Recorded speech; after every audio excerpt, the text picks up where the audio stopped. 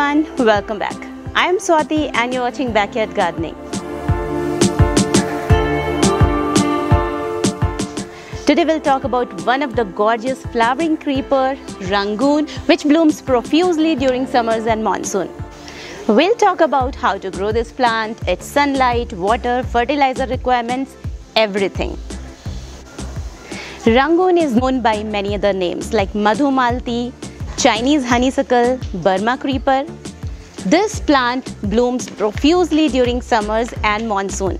This is one of the easiest to grow flowering plant. You can grow them in pots and containers as well. And if you have a garden space, grow them in garden, they'll grow rapidly and you can trail it to terrace. You can create a nice sitting area upstairs and they have highly fragrant flowers. Grow this plant in full sunlight only for flowering. If you grow them somewhere it doesn't get at least 4 hours of sunlight also, this plant won't produce flowers. Yes, they will grow nicely, leaves will grow, foliage will grow, but this plant will not produce flowers. For flowers, you must grow them in full sunlight only, be it pot or in garden. Let me tell you an interesting fact about this.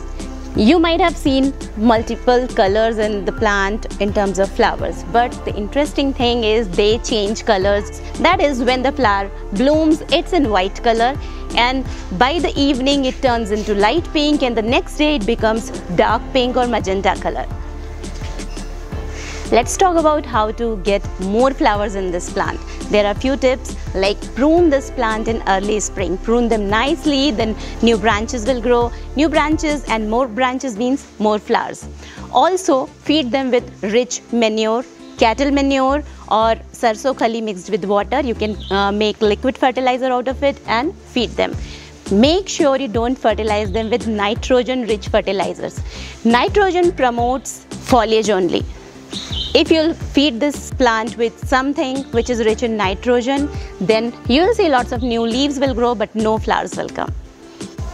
As I said earlier, they are highly fragrant flowers. So they attract honeybees, birds and other pollinators. Their flowers grow in horizontal orientation as and when the plant grows older, the next day it turns into drooping orientation. The plant loves to be watered on regular basis. If you're growing them in pots or containers, make sure to water them every day. Also, this plant grows aggressively. So you can grow them from cuttings also very easily.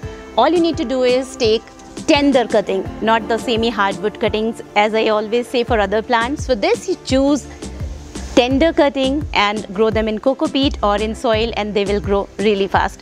I would also recommend growing any plant from cuttings during monsoon. If you want to know more about flowering creepers, I have another video in which I have shared 5 flowering creepers which bloom profusely during summers and monsoon. Do check out the video, link is there in the description box.